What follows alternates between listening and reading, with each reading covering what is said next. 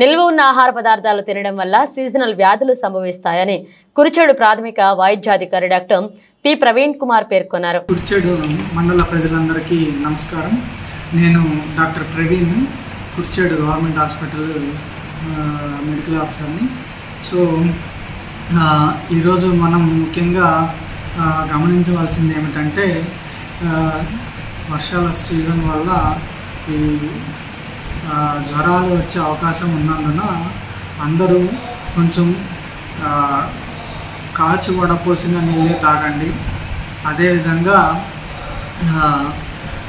చేతులు శుభ్రంగా కలుపుకోండి తద్వారా వాంతులు విరోచనాలు తగ్గించవచ్చు. అదేవిధంగా బాగా ఉడికిన అన్నమే తీసుకోవాల్సిందిగా కోరుకుంటున్నాను.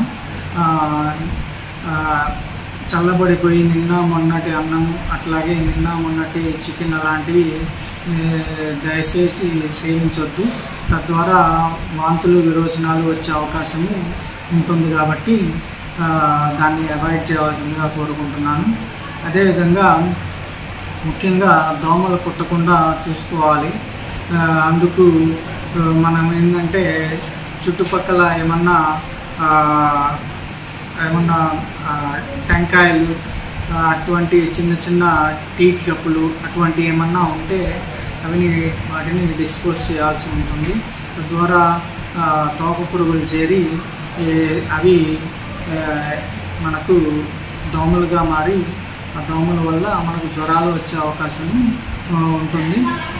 అదేవిధంగా నెట్స్ మస్కిటో నెట్స్ వంటివి మస్కిటో కాయిల్స్ అటువంటి వాడటం ద్వారా దోమ కుట్టకుండా చూసుకోవాల్సిన అవసరం మనకు ఎంతైనా ఉంటుంది. ఈ విధంగా ఈ- ఈ పలు జాగ్రత్తలు పాటించి అందరూ ఈ జ్వరాల బారి నుంచి పడకుండా ఉంటారని కుర్చేడు మండల ప్రజలందరినీ కోరుకుంటూ